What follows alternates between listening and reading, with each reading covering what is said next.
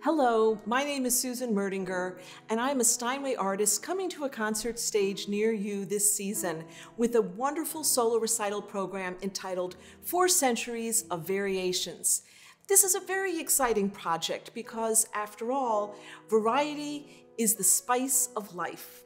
This concert program, which could also be called Four Centuries of Virtuosity, will feature exciting, thrilling, and beautifully lyrical works by Beethoven, Schumann, Liszt, Aaron Alter, and Judith Shatin.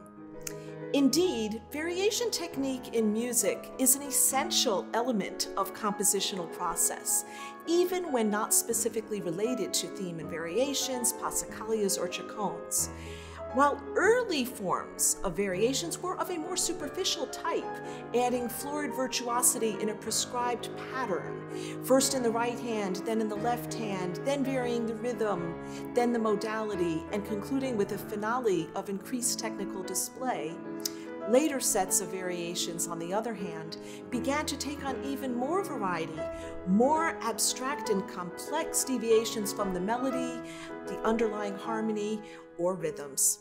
My lifelong fascination with the variation genre has led to my study, performances, and or recordings of diverse works such as Brahms' Haydn Variations and Lutoslawski's Variations on a Theme of Paganini, César Franck's Symphonic Variations for Piano and Orchestra, and countless solo keyboard works by Mozart and Beethoven, Handel and Haydn, Schumann and Liszt, Chopin, Elbio Barilari, Aaron Alter, Nick Giannopoulos, Judith Shatin, and many more.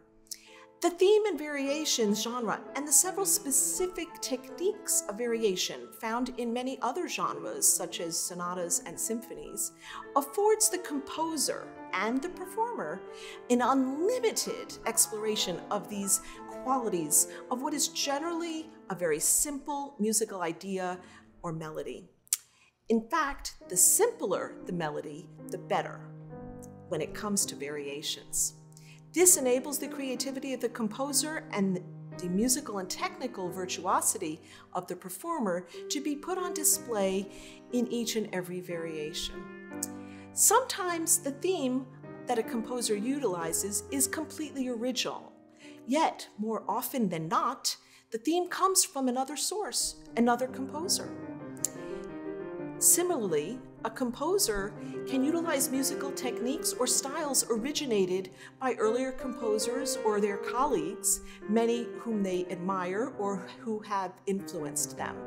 After all, imitation is the sincerest form of flattery.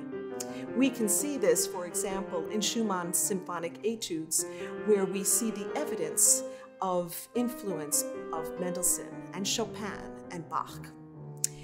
Improvising, on the other hand, on simple arias or dance music was often required of performers in the 17th and 18th centuries, and thus we can see the influence of classical music through to the 20th and 21st centuries in genres such as jazz.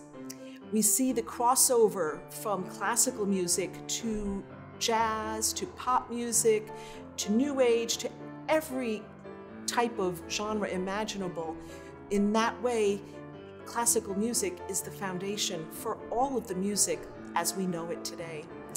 Come join me as I share with you this concert season my interpretations of these beautiful, glorious works of creativity and virtuosity by Beethoven, Schumann, Liszt, Aaron Alter, and Judith Shatin in my program, Four Centuries of Variations.